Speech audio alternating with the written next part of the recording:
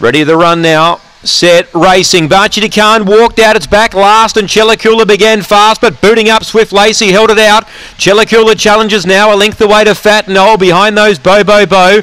Curong Test, Night Phantom, favourite Barchi Khan can't win. Cool Lois last leader is Swift Lacey holding Chellicula and Swift Lacey defeats Chellicula and Fat Noel. Fourth might be Bo Bo Bo from Curong Test. It's a photo though.